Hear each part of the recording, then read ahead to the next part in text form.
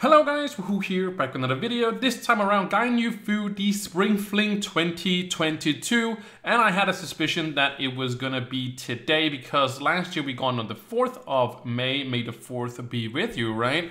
But uh, of course, Tuesday falls on, well, closer to on the 3rd. So we got it today. Uh, but when I come home earlier today, uh, there was no event and there was no Bomber Royale update either, but there both things are in at the moment. Uh, let me just uh, show you a little bit here. Uh, oh, I just want to click this one just to show you guys that. Uh, that it is updated. We got the blast coins as you can see up there and also the burnt uh, coins as well. Just wanted to mention that as well. Also, I want to mention that this event is very much like last year's event, even though it's a little bit changed with the enemies you have to defeat. So last year you had to get some uh, what it calls special drops, or some extra drops you got. You got them from the medieval highlands. Those are back. So for 2021, those are back. So if you want those drops, you didn't get them last year, uh, go to Medieval Highlands. If you want the new drops, uh, I, I, don't, of course, have the new drops. You'll also do one of the, uh, you know, I'll talk about it when we get to some of the quest steps because it is part of the quest to go defeat them as well. But I just wanted to mention here in the beginning that we are gonna get, you know, it is about getting the new drops if you haven't gotten the old ones. So the new ones are in the permafrost biome. So old drops, if you haven't got them, uh, Medieval Highlands, uh, for perma for the, for the new drops, it's gonna be the perma frost biomes. I just wanted to make that sure. It's the same enemies, but they're just in two different. They might look different, but it is the same enemies, uh, but they drop two different things. Some of them are tradable, some of them are not tradable. So with all that said, let's jump into step number one. All right, so for step number one, all we have to do is talk to the duck it by the large wagon. And this is, the, of course, the large wagon. So we just got to go ahead and find ourselves the duck. You might have also noticed that I didn't say anything about the 14 days of, you know, uh, different things. It is not in at the moment. Uh, it might, you know, bring it up, I might tweet at them or something like that to see if they're gonna implement or they just maybe forgot to turn it on for the 14 days rewards that we you know we got and stuff like that. And we've happened this before, we got it a couple of days after and then we just still got the 14 days of rewards, but it just surpassed the event and that is very cool. But i'll sure uh, i think they just forgot about it. I don't know if they are trying to get away from it because it's just sort of stale. It's something that we're just used to. So i don't know. But i still don't like it that you get those double xp potions for anybody that needs them out there. But like i said for step number one all we have to do is find the duck. And it is here sir dapper duckton uh, I would love to have to be named the third because, uh, well, maybe he is the first of his kind, but all we have to do is go ahead and uh, talk to him, and that's going to complete your step number one. Not really much other than that. So yeah, go ahead and just talk to Dapper there. Dapper the third, and you're going to complete step number one. But yeah, step number one, on to step number two. All right, so for step number two, all you have to do is buy some of the stuff from Duckton. So as we talked about before, if you just completed step number one, all you have to do is buy one of these. It's gonna cost you 75 flux and yes, the color matters because blue is superior. Now, it doesn't matter what color you uh, get, but I'm gonna get blue because blue is my favorite color. So I'm gonna go ahead and buy it. And if you can see that it's not going to complete this step, what you have to do is go ahead and throw it, just like confetti balls uh, or anything like that. Just have it in your inventory. If it's not in your inventory, just make sure it's down there and just hit it. And you're gonna go ahead and throw down uh, 10 of these. And as you can see, they're not very expensive, so you can go ahead and buy some more if you want to feel so. And we got 9 out of 9, and there we go. The last one thrown as well. That's going to give you 10 crystalline cores as well. And that was step number 2. On to step number 3. Alright guys, for step number three, we are starting in the hub because we have to defeat the wasp spiders or wasp spiders. I think that's how you say it. You gotta defeat 10 of them, but we do have to pick up something in the hub that we already uh, got already. So, uh, but I'm gonna go either into the medieval highlands or the permafrost. I'm probably gonna choose permafrost because there's the new drops and I want the new drops because I already have the other ones. But we do have to pick up something here in the hub over at Duckington. Again, it's more of the flingers because uh, these are going to be used. You're going to throw them at the enemies. The enemies has a shield on that they take no damage. But if you hit them with the flingers, there's going to be a spawn, a little bee, and they're gonna lose their shield and you can then damage them. So if you just run up and try to damage them, it's not going to work. So I'm gonna go ahead and buy a few of these because they're not very expensive and I'm probably gonna need a, a bunch of them to get all the uh, enemies anyway. So I'm gonna head into a permafrost biome and you guys can see it in action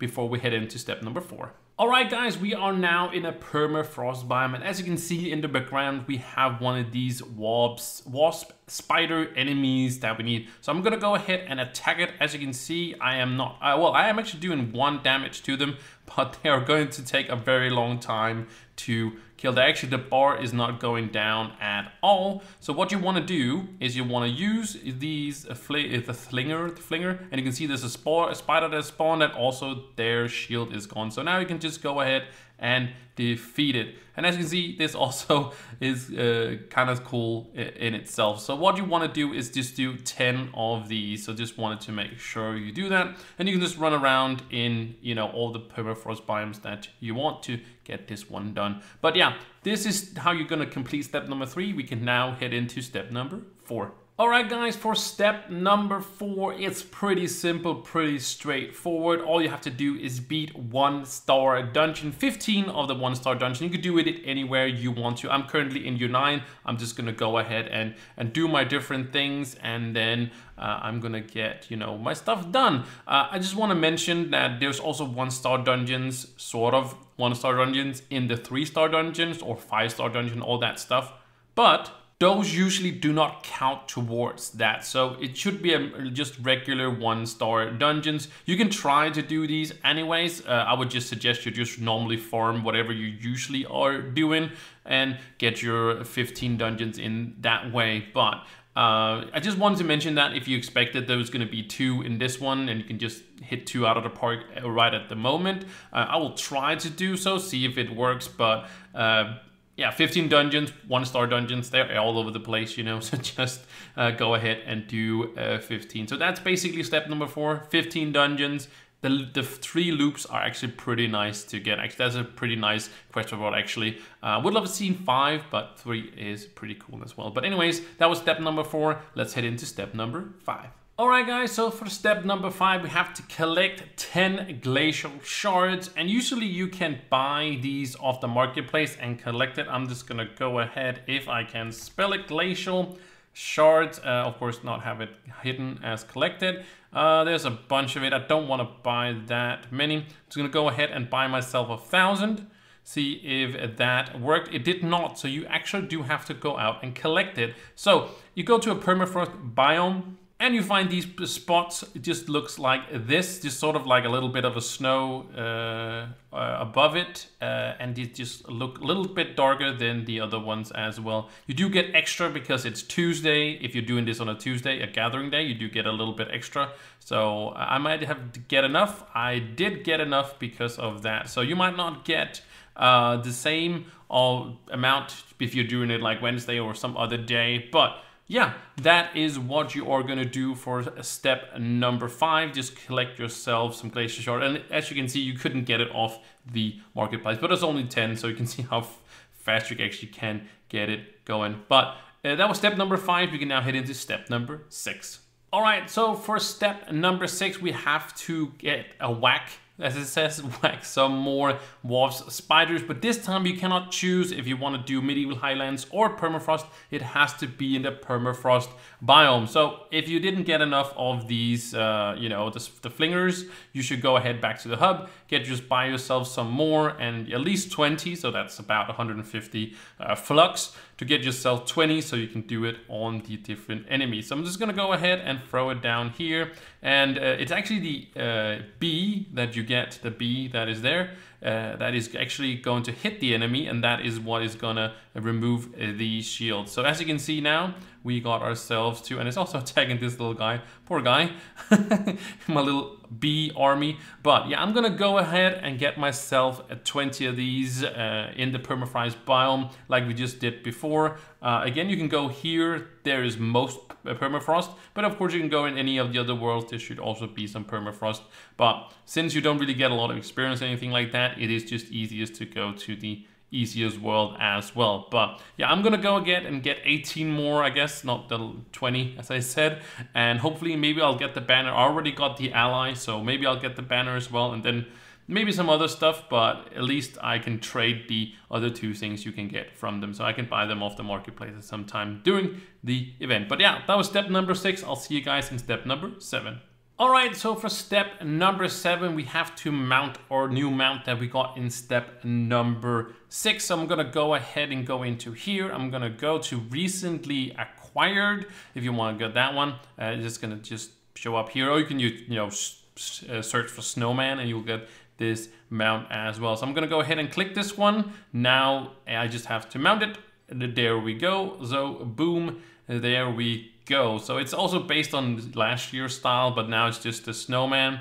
Uh, you can't move around on it. It's pretty pretty funny, um, but it's pretty actually pretty cool to mount it up like this as well. But that's what we have to do. Just mount up on the mount and you're done with step number seven. So not very much more than that. I also wanted to show you guys that um, these, you, I can see I got some of these for doing all, I haven't got the banner yet, I'll get that one as well. There's two other things, those are tradable as well. There's also a hat style uh, you get there in as well, but it's only like a couple of mastery points, so that's not really crazy. Uh, but I got four of these, as, as you can see, the do not loot collect into anything, unfortunately. Maybe you can actually, you know, maybe you can garden, harvest them, actually. Uh, we have a, should have something over here, we should have, I think the gardening thing is should be over here. I'm pretty sure it was there.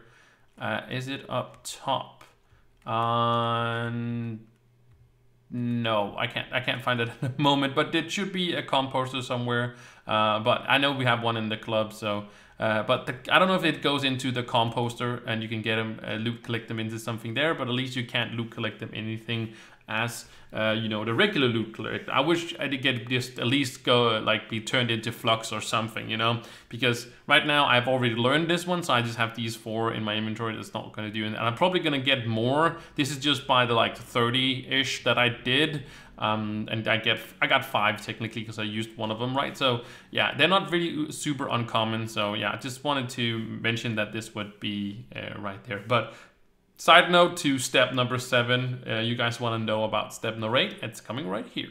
Alright, so for the last step, as uh, step number eight, we have to collect a rare treasure from the wasp spiders in the permafrost. Again, not in the medieval highlands. It has to be from the permafrost ones, and that's going to give you 2,500 flux. So, uh, but that's just one of the, uh, you know, if you get one of these again, uh, or some of the other uh, things that can drop from them, you will get this as well. So just, you know, keep going, keep doing these warps until something drops and then you will complete step number eight. I also just checked, that's why I'm in the in our club world.